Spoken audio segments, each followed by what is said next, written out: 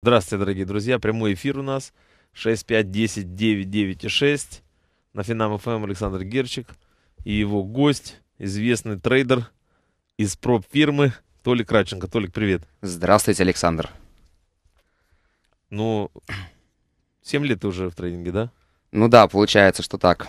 Ты тебя совсем молодым, как, как в армию забрали. Ну, не, в армию не забрали, забрали в трейдинг. Такая очень вещь, которая затягивает ну и, соответственно, потом, когда ты привыкаешь с чего-то зарабатывать деньги, соответственно, уже отказаться уже, уже, уже, уже очень тяжело. Ну как ни с чего? Ни с чего зарабатывать ни деньги? Чего. Ну нет, нет. На самом деле у нас есть некая миссия у трейдеров, да, как, как многие трейдеры говорят, мы определяем равновесную цену. А ты знаешь, очень модно э, э, бытует такое высказывание в народе, да, когда все говорят одну вещь. Очень часто, я уверен, что к тебе это также относится как ко мне и ко всем остальным э, начинает задавать вопрос. А вот что вы, трейдеры, делаете хорошего для общественности? На самом деле, кроме того, что платите налогов. А, кроме того, что мы платим налогов? Не, не, я в такой же ситуации, как и ты. Э, ну, не знаю, на самом деле, чем полезного Видишь, делаем. Ну, вот. это сложный философский вообще вопрос, который, который, который, который нужно думать. Понимаешь, я для не... каждого собеседника полезно, вообще, опять, опять же, полезно, что это такое, как бы, да, не очень понятно. А для кого-то, не знаю, там, ну, для, для всех полезность очень разная. Очень тяжело, допустим, ответить на этот вопрос. Но это просто стиль жизни, на самом деле, даже не работа. Трейдинг — это стиль жизни, Знаешь, как говорят привыкаешь. многие, там, например, вот у нас ребята за пультом управления сидят, они делают какую-то работу, за, за это получают деньги, там, может, польза какая. Какая польза вот от нас? Uh, не, не знаю, мы людей развлекаем, может быть. Вот сейчас кто-то едет в машине, улыбается. Нет, ну это радиоэфир, да, это один раз, один раз в неделю. Uh, дорогие радиослушатели, 65 10 9 9 и 6 у нас прямой эфир. Толик Краченко из компании United Traders. Толь, вот э, я так понял, что, в принципе, система, она для всех одинаковая была, пошла из Америки, да, пришли к вам в университет. Все, все стандартно. Все, пришли все. к вам в университет, рассказали что все круто, что есть ребята, которые зарабатывают много денег. Вот, приходите, мы научим. Но самое интересное, что тогда, тогда вообще никто не знал, что такое трейдинг. И а, реально была проблема набрать даже группу для обучения там 10 человек. Да, ну, про, просто ну, никто не понимал, что это за трейдинг, что это Америка какая-то, что это вообще за акции до кризиса, потому что это все было. После кризиса уже, когда каждый день говорили, акции падают, индексы падают, уже, естественно, сейчас все знают, что такое трейдер большинство, да. А тогда, да, пришли, сказали, хотите, мы вам попробуем вас научить, соответственно. Деньги не нужны, ничего не нужно, но нужно, чтобы вы пахали там 24 часа в сутки. Желание. И, и нервы были железные. Ну вот, собственно, и все. Я подумал, почему бы и не попробовать. А что... тогда хорошо, скажи, почему ты думаешь, у тебя получилось? Потому что на самом деле группа-то людей довольно-таки большая была. Ой, мясо, ну... мясо было море.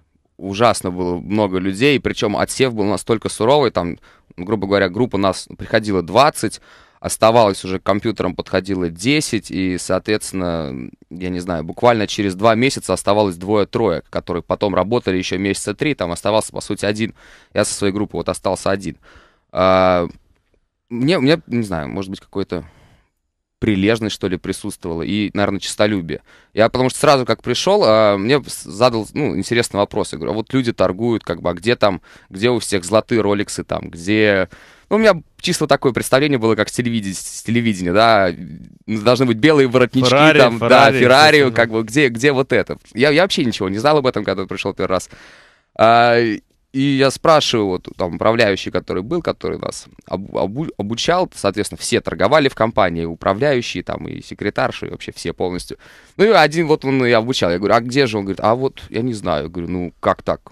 Как, как же так? Где же миллионы долларов? Он говорит, я не знаю. Ну и я говорю, слушайте, ну надо тогда зарабатывать, надо садиться. И... Что я, я, я просто пришел тогда с мыслью, хотя уже ребята там многие торговали, да, и торговали подолгу, я пришел то, что ну, с тем пониманием, что они пока еще ничего не добились, я с ними нахожусь наравне. Соответственно, я их всегда могу обогнать и стать намного лучше. И вот этот э, дух соперничества, он в трейдинге всегда присутствует. Даже сейчас там у меня вот есть э, в нашей компании друзья замечательные. Э, я всегда радуюсь, когда кто-то делает денег больше, чем я. Да, и такое происходит, естественно, часто.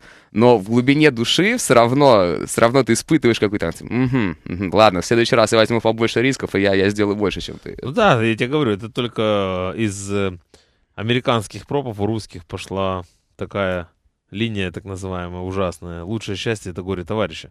Это же на самом деле было придумано в нашем в Нью-Йоркском пропе как раз вот этой группкой, там у нас было там 100 человек русских, Мгм. да, и как раз эта фраза на самом деле была такая крылатая А- фраза. Она, она есть, она есть, но как Да. бы ты ее можешь употреблять в, в контексте дружеским. Как бы если твой друг, ты ему даже можешь сказать, ага, хорошо, давай там. Или там он что-нибудь покупает, а ты ему еще начинаешь продавать, как бы. Ну, и такое, естественно, присутствует, а, но все-таки, да, между друз- друзьями, как бы. Это нельзя, наверное, перенести на всех. Потому что в трейдинге, на самом деле, друзья становятся очень, ну, редко. Очень долго проходит времени, когда два, два, два трейдера становятся, имеют какие-то товарищеские очень отношения близкие. Ну, на самом деле, с другой стороны, никто трейдера так и не поймет, как трейдер. Это точно. Точно. Нас даже спрашивают, а почему вы там не наймете себе там психолога в команду или психиатра, Да, который вы будет сами, вам... сами друг другу. Да, мы, а мы сами друг другу делаем мануальную терапию, как бы, и все хорошо. Потому что психиатр вряд ли будет справляться со всеми этими проблемами. У нас вопросы уже посыпались. Вот вопрос только что пришел от Ивана. Анатолий, почему вы начали меньше торговать и больше преподносить себя как трейдера? А, ну, не знаю, на самом деле, как это связано. Я торгую каждый день. Кто знает, а у нас есть портал, который вот мы для себя чисто делаем, youtubemagazine.ru, и там а, просто в доступе ведется моя трансляция, где показано там с утра первые два часа моих торгов, потому что я торгую новости, в основном торгую с Я утра. понял, ты и каждый человек- торгуешь. Да, и каждый человек может прийти и посмотреть просто, когда-то я теряю, я никогда этого ну, не стесняюсь. Бывают там отрицательные недели, отрицательные дни, там, да, бывают положительные серии какие-то. Можно всегда включить и посмотреть. А преподношу, наверное, себя как трейдер, это происходит а, на самом деле само собой, как бы инерция. Вначале какой-то толчок дал, потому что был информационный вакуум. Но как все это по- получилось? Был информационный вакуум, мы решили, а, то, что я запишу какие-то вебинары. Я их записал, как бы их народ начал смотреть, а остальное Вы все... решили заполнять Да, и информационно. заполнять информационный вакуум. А потом это как-то все пошло уже само собой, и там вы не думаете, что я делаю какие-то потуги для того, чтобы а, как-то про- пробиться вот в этот сектор масс-медиа. Нет, допустим, у меня есть друг замечательный Тимофей Мартынов, там он, да, он а, говорит, хочешь сходить на РБК? Я говорю, ну не знаю. Он говорит, ну я тебя в любом случае позвал, как бы сходишь один раз попробуешь там. Вот позвонили, пригласили к Александру Михайловичу э, провести замечательное время. Так что вы не думайте, что я там ищу какой-то повод, чтобы где-то что-то сделать. Нет, не, я, не, это не ко мне, это к вопросам. к я понял, я, я, я, да, я, я, соответственно, того человека, который отвечаю.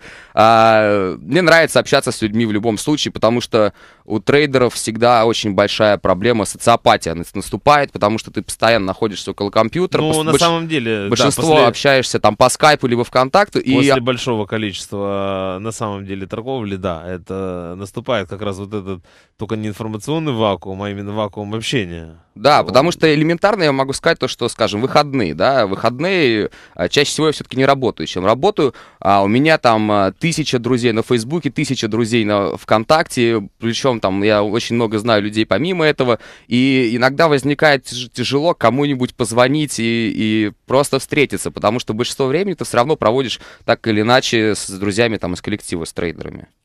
Так что эта проблема очень насущная. Т- Вопрос такой, ты, получается, сколько, с какого года торгуешь? Ну, соответственно, 2005 -го. Уже пошел, получается, сейчас восьмой год пойдет. Ну, соответственно, нет, у меня 27 января будет как раз вот 7 лет. Это в мой день рождения будет, и я пошел за 5 дней, я пришел и начал вот Вот заниматься вот ты не этим. устал? А, от просто трейдинг, нет, а, устаешь, когда делаешь постоянно одну и ту же монотонную работу. Мне в этом очень помогает а, непосредственно компания и, соответственно, помогают люди, которым я пытаюсь что-то иногда в голову вбить, да, которые воспринимают меня как какого-то тренера, да, наверное, больше. Дорогие друзья, у нас э, в гостях Анатолий Радченко, управляющий партнер компании United Traders. А после короткого новостного выпуска мы дальше будем отвечать на ваши вопросы, вести диалог. У нас прямой эфир 65 10 9 9 и 6. Звоните нам, задавайте нам вопросы письменно, устно и по телефону. Еще раз добрый вечер. 65 10 9 9 и 6. У нас прямой эфир. Толик Кращенко в гостях, управляющий партнер United Traders. Толь, вот ты торгуешь э, квартальные в основном. Да, или просто там примаркеты. Квартальные там сейчас просто нечего торговать. Ну, я дела. согласен. Последние три отчета, если раньше, а, я еще помню эту поговорку, должен зарабатывать деньги четыре раза в год, соответственно, то последнее время межсезонье являлись, ну, по, по крайней мере, по моей статистике, Что там торговые, было? а, в межсезонье, ну, были, были, было лучше, чем отчеты, потому что в отчеты очень часто все priced in. Соответ... Gap открылся и все, и bye-bye. Да, все, все учтено в цене. А, там, если не учтено, просто акция открывается на 20% дороже и стоит. Да, очень редко какие-то сюрпризы ну, возникают из отчетов. Но, тем не менее, есть всегда сейчас какие-то движения, какие-то сумасшедшие на Фейсбуке, на Apple, такие вот акции высокотехнологических компаний. AMD, Dell, э, я не знаю, они как бы радовали. Но, опять же, скажем, вот в этом месяце, да, месяц у меня наверное, а, он уже закрылся, да, он, наверное, минус ноль, я бы вот так вот сказал, потому что он был немного плюс, и что-то последняя неделя была отрицательная полностью, а, и он получился минус, потому что как раз я пропустил, было два движения, Facebook и Apple, на которых можно было заработать, а, ну, сделать месяц, да, если ну, ты да, агрессивный трейдер, можно, можно вообще сделать год себе. Пару сделок, да. А, но так как ты уже, ну, рынок стал менее волатильный, и ты не привык, скажем, видеть движение там, а, в, там в 15% ну, на, на Facebook, на Facebook, вертикально вверх. На Facebook у меня а, у самого позиция была, я тебе говорил, но я не ожидал, что будет такая прыть. Как, ну, блин, С 19 а кто... до 25. До 28. 6, да, ну первый раз там остановка да. на 25, первая была, там где скинута была там пол позиции минимум. Но никто не ожидал, например, что будет, например, такая прыть бумаги там, в 30% э, после того, как все говорят, что все плохо, мертво и Лелик все пропало. Так, так да, и суть в том, что ты отвыкаешь видеть такие сильные движения, и уже когда ты оцениваешь потенциал акции, ты смотришь намного раньше. Даже если позиция какая-то у тебя есть, а даже если ты ее держишь, там, не знаю, в опцион или в акции дирекционно, да, в какую-то сторону, свинг, а, то получается так, то, что ты выходишь раньше. Начинается какой-то откат, опять же, там, 25, ты 24 4 он откатил, ты вышел, а он еще потом столько же прошел вверх. Но ты просто в голове это уже ну, не воспринимаешь, потому что отвык от этого. Вот хороший вопрос. Григорий задает. Анатолий, что для вас интуитивный трейдинг? Интуитивный трейдинг? На самом деле вот это, не, не знаю, это, как это сказать... Вначале нужно понять вообще, что для того человека, который задает вопрос, значит интуитивный трейдинг, что он вкладывает в это слово. Интуиция, на мой взгляд, это опыт, а, помноженный на, на память, да, на какую-то фотографическую, наверное, чаще всего. Когда ты видишь ситуацию очень-очень часто, ты видишь, как паттерн этот срабатывает или не срабатывает, ты сможешь... А, мне же не важно то, что вероятность какая. Мне важно, она больше, чем 50% или меньше, чем 50%. Мне же не важно, 60, 70 или 80. А, грубо говоря, процентов вероятности этого трейда. И в любом случае дел, действую с, с положительным мат-ожиданием, и мне этого достаточно. Наверное, вот это интуитивный трейдинг, кто-то называет это дэн трейдинг, моментум трейдинг, прайс экшен. Да. названий вообще миллион, и а, я бы... Ну, не, ну в данной ситуации, скорее всего, вопрос был именно интуитивный трейдинг, это, это профессионализм, помноженное на что-то. Ну, так я же сказал, на память. Да, Опыт на память. на память. Но это не имеет значения, как бы что ты торгуешь, у тебя есть просто вырабатываются какие-то сигналы, которые раньше отрабатывали. Это либо новости, чуйка, паттерновые. Чуйка, чуйка. Ну, да. Чуйка да. срабатывает иногда и на, на самом деле очень помогает. Вот опять много вопросов, буду чередовать. Есть вопросы обвинительного характера, хорошие вопросы, благодарности. А вот вопрос. Вадим задает вопрос. Учился у вас, обучение не имеет ценности, 60 студентов – практически все слили спустя 6 месяцев. Полный провал. Ну, смотрите, отличный вопрос. А, во-первых, а, выживаемость студентов сейчас идет а, намного меньше за счет того, что рынок в целом дает меньше Тут денег я заработать. с тобой не, не, не, не соглашусь, а даже соглашусь, потому что на самом деле э, рынок очень тяжелый, и иногда эмитент дает 30 копеек, и забирает. Но, но с другой стороны, с другой стороны, если э, так же самое меня за это иногда тоже пытается натянуть, когда, знаешь, ты обучаешь людей, берешь за это деньги, и не получается.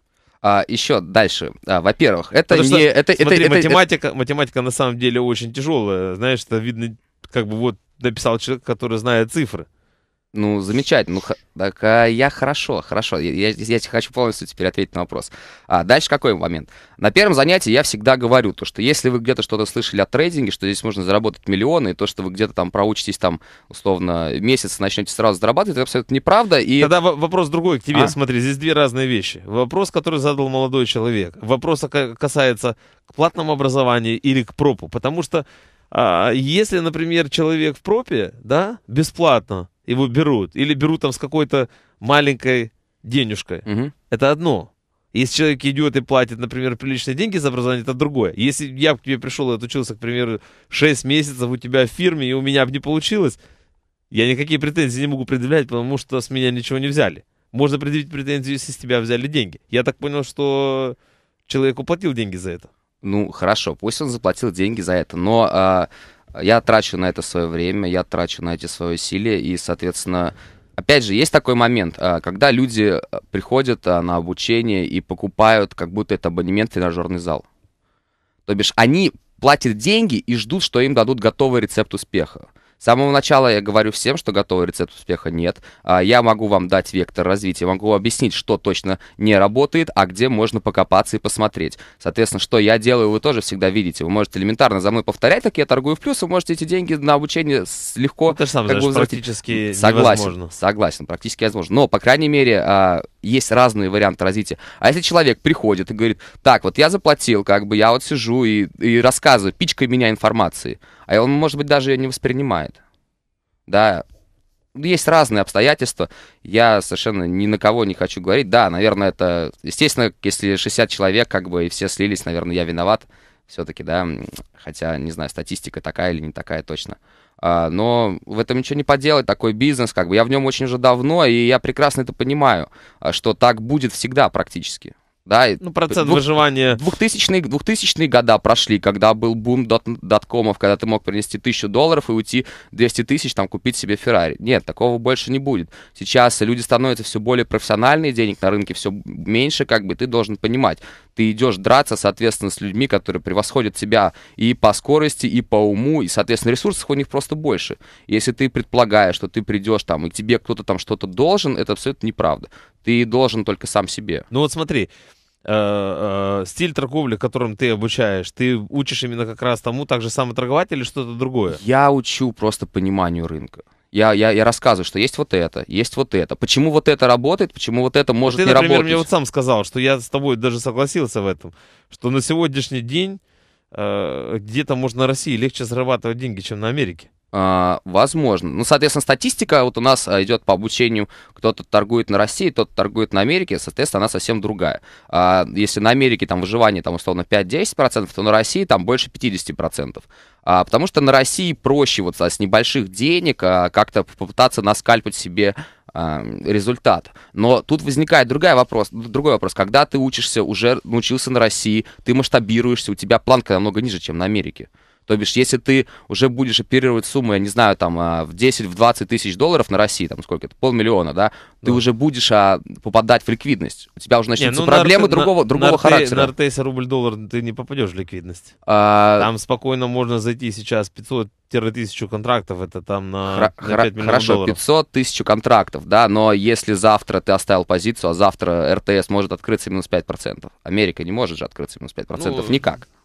А, здесь можно спорить, опять же, кучу времени, Не-не, но... это, а, не, это не спор вообще. Нет, ну так вот, идея это самая главная какая? То, что масштабироваться тебе, начинать может быть проще на России, поэтому, соответственно, мы сейчас построили такую программу, что у нас большинство людей начинают все на России, а потом, когда он проходит уже определенные стадии, он сам уже выбирает, что ему хочется. А ему может, хочется и- скальпинг, А ему может, хочется а может дейтрейдинг, ему и не надо после того, если действительно вот, э, ты знаешь, я сейчас прилетел только с новосибирского семинара, ко мне подошел мужчина, э, и ты знаешь, я торгую предельно просто, да, даже Ну Дима да, да. Белусов когда-то сделал пару сделок там э, от уровня, как я показывал, и там в офисе прямо 4 года назад было. Кстати, помните, назад. про Белоусова рассказали? Помните эту ситуацию, когда мы встречались в японском ресторанчике, еще когда я только в Москву приехал? Да, два года Когда, назад. когда, когда вы, си- вы сидите, вы заходим с Димой, и, ты, и вы у Димы спрашиваете, типа, Дима, а ты что, с охранником пришел? Да? Теперь, теперь все. Вспомнилась эта ситуация. И э, как бы э, я показываю, я сразу на первом занятии говорю, я торгую от уровня, предельно просто, а, спокойненько будете торговать, да, никаких там чудес нету. И мне человек подходит, говорит, вы знаете, там, Александр, я вот так-то, так-то торгую, и это у меня получается. Знаешь, что я ему сказал? Нечего вам идти и тратить деньги на образование. Так, э, Поэтому говорю, если человек, как бы, может, у него на России получается, зачем ему пробовать что-то другое? а, на России, на России элементарно косты ниже. И, соответственно, а, Сейчас общий- Черемушкин вот приходил в предыдущей передаче, реально сказал, что скальпить просто очень тяжело. Очень. Так, ну, нужно понимать, что просто денег на рынке становится меньше. Никто, вот и я готов поспорить, то, что кто торгует, ну, не знаю, вот я торгую там с 2005 года, а никто не торговал на таком рынке с такой низкой волатильностью. Ее Ну, просто не было. никакая. Ее просто вообще не было. То бишь все люди, которые а, 700 пришли, пришли, 700 пришли, миллионов на анализе объемов не было годами. Э, так понятно, потому что весь объем, все смарт-мани, они не заходят через DMA, они заходят как-то через фонды, через офшоры, через даркпулы, как бы они, они не приходят на рынок, они делятся между крупными игроками. Соответственно, э, объема, скажем, вот а, была неделя в День Благодарения. Объема на рынке нет. Ну, практически level, level 2 пустой. Стакан, там стоят только маркетмейкеры. То бишь зазывают тебя поиграть на ферстке, там, на каких-то акциях. А получается что? А объем в dark pool ах растет там на 50% каждый, ка- каждый день. Каждый день. Понедельник, вторник, среда, четверг был выходной и пятница, даже сокращенный день. На 50% рост. Мы на этой неделе увидели как раз вот именно рост за счет того, что заходили вот эти smart money. Да, а сейчас ты можешь конкурировать, имея только определенную какую-то информацию, соответственно, какой-то анализ рынка. Просто так очень тяжело торговать, допустим, вот акция как-то засетапилась, да, там пробивает high, раньше все там замечательно, или 52 week high, ты покупаешь, ты смотришь, тебя там вытягивает рынок, и акция тоже наверх. А сейчас вначале всех выкинут, маркетмейкеры вначале должны заработать, а потом, возможно, она пойдет вверх, как бы, да? Ты- Непонятно, с тобой ты- или ты без тебя. Да, ты, ты- ты уже весь будешь белый просто и, и не понимать вообще, как, будет ли здесь деньги или не будут. Ну, т- ты, э, в принципе, э, в индустрии, да, последние там пять лет, э, все практически заработали деньги одним путем. Да, это были либо MMOC или еще что-то. Так, я, я- давайте шире даже возьмем вопрос. А, Все заработали на падении, а потом все заработали на росте. А сейчас вот рынок уже три года стоит на одном месте, никакое. и денег новых нету, и все живу- з- живут на то, что, от- на то, что отложили. Вот как раз э, в третьей части я хочу, чтобы мы как раз поговорили об этом, чтобы ты дал пару советов, как зарабатывать, и ответим на другие вопросы. Дорогие друзья, у нас прямой эфир. В гостях у нас Толик Радченко, управляющий партнер компании United Traders. У нас прямой эфир. Звоните, не стесняйтесь, вам все равно делать нечего. Едете, в, скорее всего, в машине с работы. У нас телефон 6510 996 и пишите нам на finam.fm, задавайте вопросы свои. Еще раз добрый вечер. Прямой эфир 6510 996. Поактивнее звоним или звоним, задаем вопросы, пишем. Вот вопрос пришел.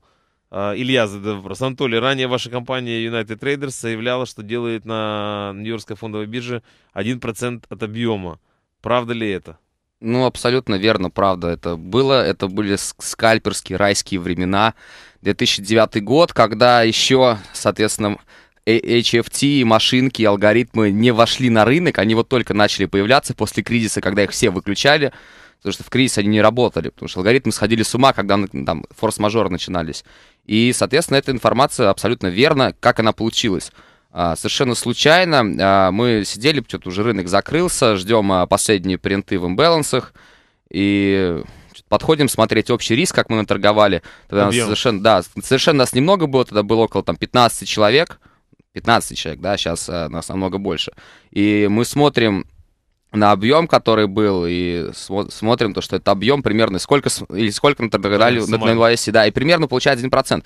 Но должны понимать, а NYSE это то, что торгуется только через раут NYSE. Это не, это мы не берем там а, другие эксченджи, да, э, и другие эксченджи мы не берем, а, никаких ECN, то, что торгуется на NYSE. Кстати, если вы а, сейчас, сейчас, если взять объем, то я не знаю, может быть, а, это какие-то уже даже десятки, может быть, процентов иногда бывает, потому что на NYSE за это время объем упал на 95% там, с 2007 года. На 95, то бишь весь объем идет через ECN, через специалиста, ничего, ничего не проходит. Практически ничего, да. Так что эта информация, да, она, она, это факт, как бы, так просто получилось. Был. Был. Ну вот тогда из этого следует второй вопрос, задает э, тот же Илья. Какими стратегиями были заработаны деньги, которые указаны на вашем сайте под фото каждого трейдера? А, ну, соответственно, грубо говоря, там а, трейдеры делятся на две категории. Кто заработал деньги на имбалансах, и кто заработал деньги на имбалансах а, плюс скальпинг. А, когда, скажем, вы, вы можете посмотреть видео City Group, как а, торгует а, Рома Вишневский, где он делает там, я не помню сколько, 250 тысяч за 15 минут или что-то такое. А, тогда рынок так торговался, можно было взять любой объем, потому что ну, тот же Citigroup там, или Банк Америка были абсолютно ликвидны. Можно было купить ну, любое количество акций. И за, эта покупка провоцировала движение сразу там на плюс 1, плюс 2 цента. Э, и ну, трейдинг был абсолютно туп. Ну, очень прост, и а, кто эту фишку быстро понял, те и заработали эти деньги. Я, допустим, свои деньги, основные, наверное, а, заработал на, на имбалансах. Мой лучший день это были имбалансы. Мой худший день, мой худший день это был трейдинг. Ну, у меня, кстати, лучший день а, равен примерно худшему дню, так что так получилось. А то есть заработал на имбаланс, а потерял на трейдинге? А, нет, трейдинг тоже у меня. У меня на самом деле трейдинг был Я намного... имею в виду а, в худший и лучший день. Худший, лучший Да. день, да, именно так. Вот э, Сергей пишет. Клиент United Traders. Проблемы. Стопы срабатывают хуже от рыночных цен практически всегда. Бывают несуществующие принты даже в толстых акциях. В толстых акциях иногда не видны выставленные мной лимиты. Ну, что я здесь могу сказать? Эта информация меня только улыбает. А, на самом деле, а, что значит первый, да, вопрос? А, стопы срабатывают хуже, чем обычно. Ну, это зависит от ликвидности, понимаете? Если бы мы были, если мы были а, Форекс-кухни, да, и вы могли бы подкручивать, как срабатывают стопы, лучше или хуже, я бы с удовольствием подкрутил. Но, соответственно, рынок, и я писал, допустим, свои посты о маркетмейкерах, где меня за секунду выносили там на полдоллара, у меня позиция 6 тысяч, минус 3 тысячи, акция через секунду возвращалась обратно.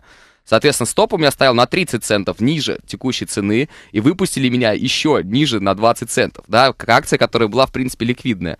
И это, это происходит, да. Что касается несуществующих принтов, они никак, а, это сделки чаще всего EDF, они проходят через так называемую калитку QD, и они не оказывают никаких влияния ни на какие цены. Это просто договорные сделки. Допустим, с утра какой-то объем заэкзекьютали, и, соответственно, маркетмейкер или clearing house может эту сделку провести В любое в время. любое время в этот день. Чаще всего на закрытии вы видите какие-то непонятные принты Она, при кстати, открытии. раньше маркировалась. Как семерка. Семерка? Да, это много лет назад было, да. Это был, его могли в любое время провести. Это trade там, да, он стоял, там семерочка была. На NYSE только, как раз это о том, о чем ты говоришь. Да, да, да. И я не знаю, тут, понимаете, тут не компания виновата, не еще что-то. Это, это, ребята, это просто такой рынок. Вы просто его никогда не видели. Особенно если вы приходите на рынок вот сейчас, торгуете там 2-3 месяца и говорите, что у United Traders там а, спреды шире, чем, чем у другой компании. Ну, такого быть не может, соответственно. А, Просто, если вы давно торгуете, вы по- понимаете, что а, такого просто не может быть. А, вопрос другой. Когда люди приходят, например, да, и получать образование у вас, Мгм. само понимание рынка, это, конечно, самое тяжелое. Даже больше тебе скажу, как трейдер, это, это то, практически чему невозможно научить.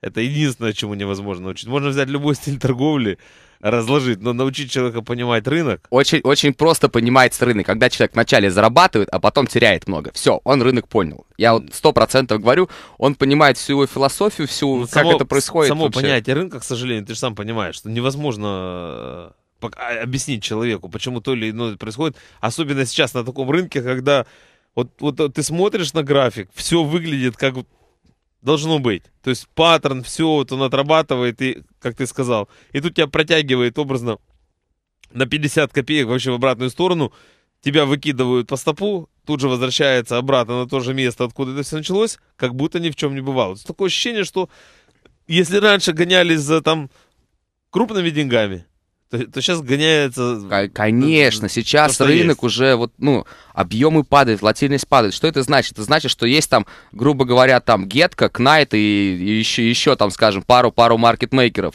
которые, они деньги у друг друга уже не могут красть. Они, это- это никто между друг друга деньги не делит. Да, вот был, конечно, небольшой косяк у Knight Capital, когда они потеряли там за свой алгоритм там 400 миллионов.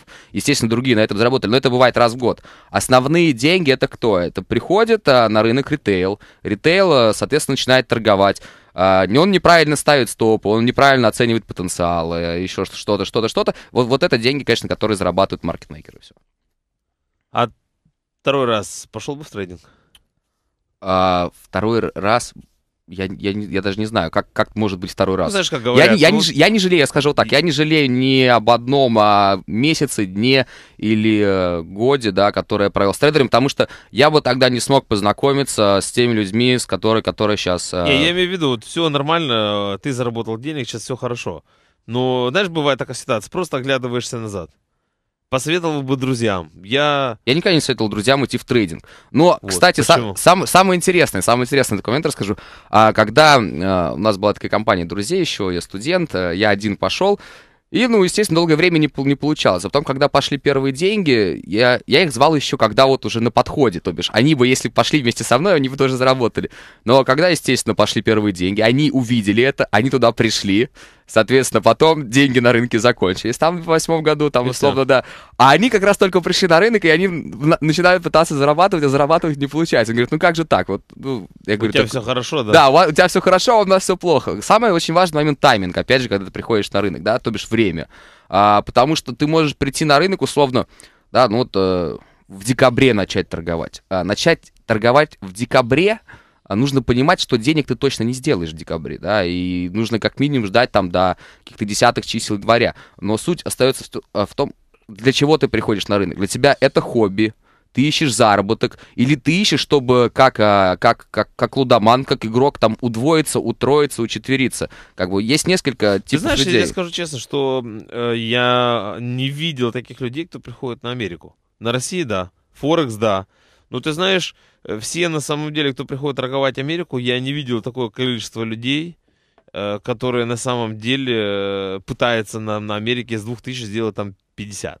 Ну, а На суть- России это сплошь и рядом, вот там Ну, мы возьмем кон- сейчас 50 тысяч рублей, там разгоним до 500. Форекс. Разгоним. Да, вот да, разгон... да. А, так, а дальше что? Вот ты ее разогнал. Вот мне сразу, сразу маш- машина или телега, которая с горы катится, вот ты ее разогнал. А дальше что? Куда она поедет? Как бы, ну, не очень понятно, да? Для, для чего это нужно сделать? А Америка я объясню почему. А потому что, во-первых, там много сложного. То бишь, ты можешь послать свою заявку там тысячи одним способом. А, Там есть огромное количество секторов, должен понимать, для чего тебе торговать тот или иной сектор, и ту или иную акцию, или ту или иную новость. Английский язык, опять же, тоже для многих является каким-то, да, барьером. И, но зато там есть место для того, чтобы подумать. То бишь, ты не обязательно, вот опять же, а, тот же, читая, да, замечательный Smart Lab, там все пишут, вот пила, сейчас, наверное, вверх, сейчас, наверное, вниз.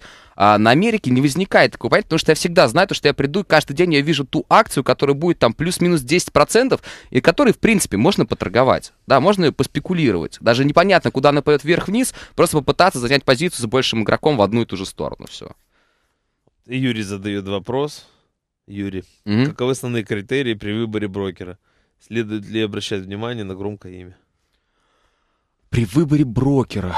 Если знаете, на самом деле, раньше брокер э, был чем-то таким, не, не знаю, чем-то, чем-то таким сложным, и сейчас а, выход на рынок а, предлагают вообще множество количества компаний, и смотря какие вы, ну, какие, какие цели вы преследуете. Если вы преследуете цели, что ваши деньги там будут лежать там 10 лет, то да, нужно брать самого большого, чтобы была надежность. Если вы будете активно торговать, то смотрите на косты, расценки, сколько стоят комиссии. А если вы собираетесь а, делать какие-то экстраординарные а, операции, там арбитраж, там Россия-Лондон, то, соответственно, вам нужен брокер с такой технологией. А, если вы хотите положить 50 тысяч рублей и начать торговать, начните с любого. Начните с United Traders, начните с, а, с- да, да с кого угодно. Так. Анатолий, вы запустили новую платформу. Откуда берется марки дата? Кто клирует позиции? У вас есть разрешение всех для работы вашей платформы? Но замечательный вопрос. А, все а, эти вопросы мы уже отвечали по 10 тысяч раз. А, информация есть открытая в интернете, на конференции iLearn, в Smart Lab, а, на нашем сайте. Ну, в общем, тысячу раз уже отвечали на этот вопрос, но раз его задали, давайте я в двух словах пробегу. Соответственно, SEC а, не должно, не должно давать разрешение, чтобы подключить платформу. Платформу можно подключить, соответственно, по FIX-протоколу, пройдя compliance с каким-нибудь там брокером или clearing house ом. То бишь, это не такая вещь, что вот вы думаете, что вы разработали там софт, и его нужно чуть ли не к Пентагону подключать. Нет, это делается все достаточно очень просто, если ты понимаешь, как бы для чего ты это делаешь. Соответственно, дата это покупается. А, Соответственно, мы за дату платим, это наше конкурентное преимущество, да, потому что мы даем платформу дешево. Почему у нас там, да, прирост клиентской базы идет такой большой? Потому что мы даем очень дешевую платформу, мы берем часть костов за себя, и за счет того, что мы даем хороший сервис, и у нас высокие комиссионные, мы, да, оттуда забираем часть прибыли. Все достаточно просто. Никаких а, нету, знаете, уловок там, чего-то еще. А, политика достаточно простая. Мы даем хорошую платформу, мы даем отличный сервис, и поэтому мы считаем, что стоимость должна быть выше, там, чем у всех. Так, идем дальше. Анатолий, что вы имеете? Минута осталась до э, новостного эфира. Анатолий, что вы имеете в виду, говоря, что деньги на рынке закончились? А, ну, деньги что на рынке закончились. Не, не инвестирует никто деньги не инвестирует никто, все стараются, допустим, банки свои деньги, которые у них находятся, все стараются их сохранить. А, потому что а, деньги направляются в сторону нулевой доходности, не потерять. А, потому что никто не видит возможность заработать, никто не видит стабильности, и она, по сути, никому не нужна, потому что все сейчас, знаете, как, а, грубо говоря, вот так вот деньги, день, деньги обняли и сидят с ними, да, да. ждут. Они ждут, потому что чего они ждут, они сами не знают. Подойдите к любому, там, не знаю, стратегу в Goldman Sachs, чего ты ждешь, почему вы не вкладываете деньги в акции. Он тебе не сможет ничего ответить. Он скажет, рынок пойдет немножко вверх, потом немножко вниз, а потом немножко в бок, как бы, да, там... Э... Дорогие друзья, прямой эфир. В гостях Толик Ращенко, управляющий партнер United Traders. Телефон студии 65 10 9 9 6. После короткого новостного перерыва мы вернемся к вам. Мы опять вернулись к вам, дорогие друзья. 6510 996. Странно, нет звонков. В гостях у нас Анатолий Радченко, управляющий партнер компании United Traders. Uh, Толик, вот вопрос к тебе. Uh, можно ли где-то почитать бесплатно про торговлю на NICE? Сейчас слушаю слова. Спец, имбаланс, принты, для меня темный лес. А, ну, во-первых, да, информации множество есть в интернете. А есть а, информация на нашем сайте, многие статьи, там, а, словарики, все это присутствует. Короче, если, э, если задаться целью, в свободном доступе можно найти абсолютно все. Вообще все. Э, вы прекрасно знаете, да, что есть там э, даже, даже специальные каналы интернета, где вообще можно купить все. Как бы, да, то же самое в интернете всегда можно найти все что угодно. Главное, чтобы вы хотели. Просто и насколько эта информация будет актуальна. Если вам нужна информация просто расширить свой кругозор, да, что такое NYSE, почему там есть routing, для чего он там присутствует, да, да, институт маркетмейкерства, это все есть. Если вам нужна специфическая информация какая-то, да, если вы что-то конкретно ищете, с этим уже тяжело. А то, что о чем все разговаривают, о чем все знают, а, оно, оно, лежит, оно лежит прямо вот перед вами. Просто зайдите в Google и наберите. Вот еще вопрос. Э, еще раз. Кто клирует ваши позиции? А, соответственно, наша позиция клирует Ветбуш Морган. А, вот вопрос еще один пришел от Анатолия. Вопрос такого характера. Что для вас конкурс лучи? А, у, тебя, у вас же робот работает. Да, робот работает. Для, да. Если в тот раз а, конкурс ЛЧ для нас был некоторым, можно сказать, вызовом, да, потому что а, было интересно, допустим, посоревноваться с Прадой, да, ну причем даже интересно, мы сразу, а, он стартовал с полупозишн, а мы стартовали в конце, потому что нам сумму увеличили в три раза базовую за счет того, что робот ушел на клиринг с ордерами, а ему нет. Но все равно мы в абсолютном, ну, в абсолютном значении обогнали и PFP Invest, и Праду, заработали больше всего. То сейчас, а, на самом деле, ну, не с кем соревноваться, даже то, что с аспирант идет, но мы, мы поставили ту планку для того, чтобы, ну, он просто потихонечку его обгонял, а на самом деле в технологиях тягаться почему-то не с кем. Потому, потому что есть, есть ребята хорошие, интересные, кто занимается HFT, но они не выставлялись, не выставлялись на LC, а мы, ну, а мы, даже, а мы так, как я обещал просто в том году, что мы должны в 2012 даже, также Даже победить. Феникс, даже Феникс э, сказал, что никакого смысла нет выставляться Вообще на никак. Тем, да. более, тем более после новых нововведений, которые там а, урезали роботов для того, чтобы больше там соревновались как бы физики, да, как это принято не, ну, называть. Ты согласен, что теоретически это правильно? А, если конкурс называется «Это лучший частный инвестор», то это отдельно, по сути дела, должны выводить люди, которые торгуют руками, и это должно быть видно – да, когда там человек делает там, 7 тысяч сделок в день, это понятно, что это не физик, сидит и дома ручками работает. Ну, понятно, хорошо, тогда, если это лучше частный инвестор, давайте сделаем его за год, давайте, а, соответственно, сделаем какой-то инвесторский бюллетень или какой-то... Здесь вопрос в другом, здесь вопрос в другом, что роботы должны соревноваться с роботами, а люди должны соревноваться с, с людьми.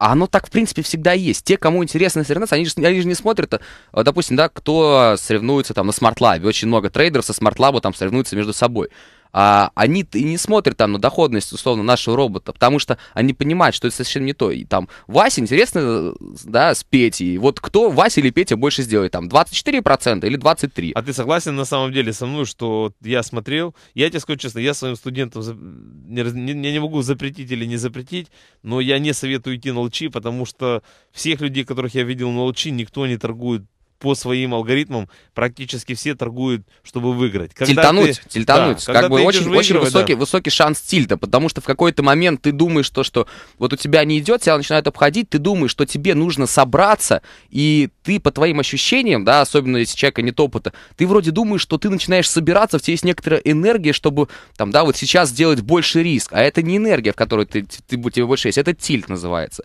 Э, ты просто начинаешь бабахать в разные стороны, постепенно твой счет начинает таять. А потом, когда ты уже опомнил, опомнился, уже поздно. А у тебя осталось меньше, и ты идешь all-in. Потому что ты понимаешь, чтобы только его обогнать сейчас, мне нужно зайти Надо на все и сделать. сейчас. Да. Вот, ну, все. То есть, по бы. сути дела, вот этот робот ваш на LG, это только потому, что вы сказали, что в 2012 году хотите. Да, абсолютно. Ну или можно, можно сделать так, там, LCI будет, там, не знаю, до 2018 года, что мы выиграем там 10 раз LCI подряд.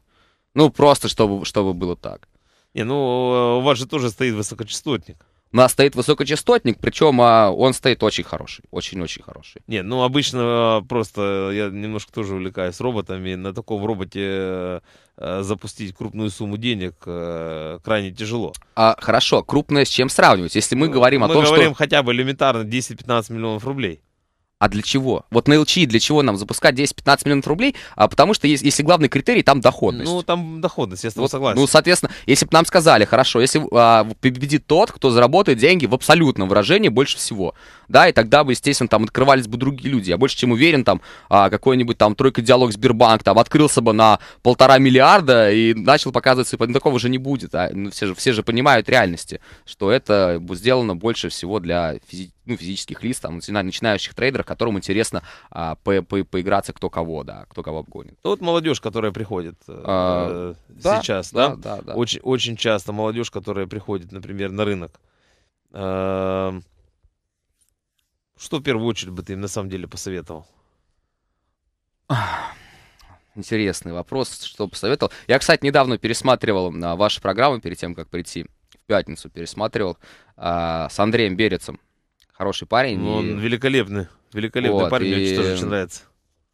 Достаточно. Да вы ему задали тоже такой же вопрос, и он тоже сконфузился. Я объясню почему, потому что, э, понимаешь, молодежь, которая приходит на рынок, они по-любому приходят, да, кто хочет там э, нажив, на, называет их как хотят, мясо, не мясо. Здесь вопрос в другом, помочь им, помочь им, хотя просто выстоять, понимаешь? То, что, не... смотрите, скажем, да, то, что, опять же, э, мы делаем, вот, ну, грубо говоря, опять же, что касается выстоять и так далее. У нас очень много людей, мы берем абсолютно бесплатно, человек чего-то чего добился в жизни, он может, а, грубо говоря, там, учился на одни пятерки, там, мастер спорта по боксу и поступил в институт на бюджет там какой-то еще. Мы Тогда... этому человеку всегда идем навстречу. Вот я тебе задам вопрос тогда. То есть, э, я тебе скажу честно, что что я в последнее время, как ни странно, начал очень разочаровываться в спортсменах. У меня есть ребята, спортсмены, которые реально мастера спорта и очень, очень страдает дисциплина. Очень. А... Я на самом деле абсолютно с тобой одного же мнения был по поводу того, что действительно человек, когда как бы профессиональный спортсмен, тем более получить мастера спорта, да, в Советском Союзе, как бы даже и в России, это не, не, не просто, да, это где-то надо как минимум на уровне Союза быть, или там, да, или на уровне минимум республики там. Я думаю, даже сложнее не быть на уровне Союза, а, скажем, 5-6 лет делать одно и то же каждый день, два раза в день. Вот тренировка с утра и тренировка вечером. И в таком режиме отработать 6 лет, тогда ты уже можешь считать себя вообще мастером спорта, тогда, в принципе, ты выйдешь на ринг и докажешь это. А, да, очень просто. А, что касается дисциплины, не знаю. Наверное, не столько у нас сейчас мы а, спортсменов спрашиваем, но, скажем, ребята, которые работают на технических специальностях. И там топ вуза, да, там Баумка, а, очень, а, очень мы любим оттуда, кто приходит. А, они, они приходят, они приходят работать, они понимают, они не, они в институт идут для того, чтобы чего-то добиться. Да. И они также приходят и говорят, вот я очень хочу, скажем, да, вот у нас один парень из группы там со скальпинга, который сейчас а, занимается там опционами, он работает, я, я не знаю, в 10 я прихожу в офис, он уже сидит, мы уходим в час ночи, он тоже сидит до часу ночи, и так каждый день. А когда же он учится? И так каждый день. Ну, он закончил, закончил институт и пришел к нам. Так каждый день, и у него сейчас, да, самые, наверное, перспективные как бы роботы. Он делает там единственный человек, по сути, да, кто занимается так профессионально роботами на Америке, да, который работает именно в пропе, да, то бишь он на, на, на проп условиях разрабатывает Понятно. этого робота. И к нему даже никто не суется, потому что он уже, уже ушел настолько уже глубоко в понимание этих, этих процессов, что, а, скажем, если я у него подойду что-нибудь спрошу, я уже не пойму это. Просто настолько серьезная математика, Да, и только так, как, имея какие-то конкурентные преимущества, на рынке сейчас можно заработать. Да, совет начинающим. Да, вернемся все-таки к совету начинающим. А, первое. А, сейчас на рынке денег нет. Заработать очень тяжело. Когда они появятся, чтобы вам было легко заработать, Надо быть а, готовым. нужно быть готовым. Соответственно, да, когда рынок изменится, никто не знает. Просто чем, скажем, новичок отличается от человека, который торгует дольше? Человек, который торгует дольше, он умеет ждать. Соответственно, вот новичок от э, старичка на рынке, да, как это принято говорить, он отличается только од- одним параметром, э, да, который, я считаю, самая конкурентоспособность. Тот, кто человек долго на рынке, он умеет ждать. Он видел, Когда рынок готов он будет, видел, он, сможет. видел циклы, да. Я, я знаю, что, допустим, вот там 2012 год, не знаю, это, наверное, за это худший год, он в плюсе, но он по показателям, наверное, ху- хуже, чем 2011-2010.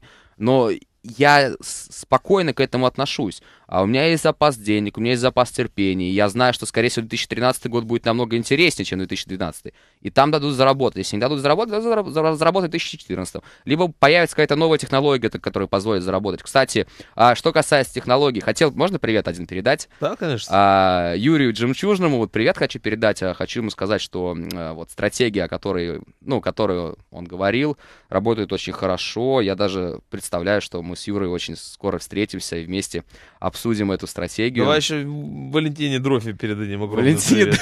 Валентин. Из Лерни, да, тем более, она же, в принципе, с тобой с одного города. А, Она со мной с одного города. Ну, я имею в виду, Ну, из города, где ты учился. Санкт-Петербург. Валюш, мы тебе передаем огромный привет. Здоровья. Да, большое спасибо за тебе. трансляцию с э, финансового супермаркета. Я, кстати, смотрел. Это, это, было, это была крылатая фраза, когда, ребята, у меня времени мало, буду говорить много, как бы без анекдотов. И все сразу разочаровались. Александр Михайлович. Я ну, даже, ты видишь, перестал матом ругаться. э, Четыре недели, четыре недели вообще ни одного слова просто, нигде. нигде поспори- нигде. поспорили, наверное, с кем-то. Нет, нет, нет, это спорить это как бы удел детей, это я уже не спорю. А насколько вы сейчас, в принципе, там склоняете сторону алготрейдинга? А, вообще весь трейдинг у нас, по сути, идет. У нас есть несколько стратегий, которые мы торгуем. Ну, помимо того, то, что я дейтрейдую, это я дейтрейдую уже как, а, ну, по, по инерции. А все в основном а, расходы компании, да, при, ну, прибыль, которую компания генерирует, все тратятся на новых ребят, на алгоритмы, на технологии. Все, все, все 100% дохода. То бишь с компании деньги вообще не уводятся. Только, только, только увеличивают обороты. А, ну вот опять же, для, для, для молодежи, которая только приходит на рынок.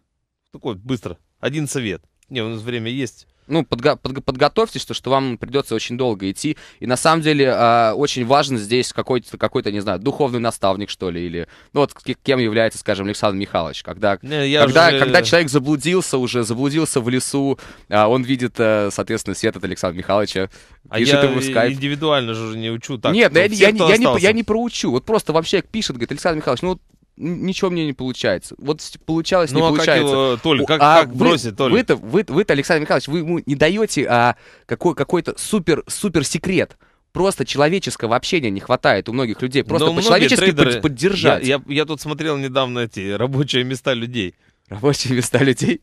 Ты видел? На, на- А, на да, да, да, да, да, да. Была целая картинка, там куча, куча картинок. И огромное количество людей выставляет свои рабочие места. А там пару смешных таких на полу. Да. Так, вот пришел, пришел еще один вопрос.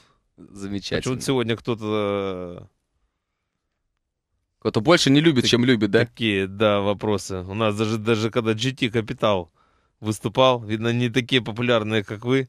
Ну, Да, вот вопрос. Черный неправдивый маркетинг. Картинка, которая подается, не соответствует действительности. это... Ну, тебе придется, как бы, у тебя есть 20 секунд. А, так нет, все правда. Вот за 20 секунд я, я, я успел. А, ни, один, ни один показатель, который опубликован на сайте, не является вымышленным и так далее. Это все на самом деле правда. Просто мы оказались а, в 2008-2009 год успешнее, чем немножко, чем другие. Все. Это не является нашим там роком, а просто ну, мы сказали, как это как есть. Дорогие друзья, у нас в гостях Толя Кращенко был, управляющий партнер компании United Traders. У нас прямой эфир.